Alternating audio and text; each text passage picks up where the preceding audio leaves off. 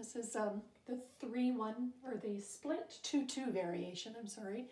And um, what you do for this is what we're going to split our Leno.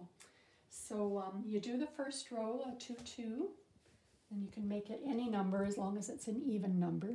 And the reason why it has to be even is because we're going to split each Leno so they come together. So you, may, you build up your right selvage, go under it with your pickup stick, and take that right warp from that first Leno and put it on your pickup stick. Then you take two threads that have not been used, and you'll see that they're split. Pull that over to the left, lift up the two threads underneath. And you'll see that's two under and two over. And then you go on to the next one.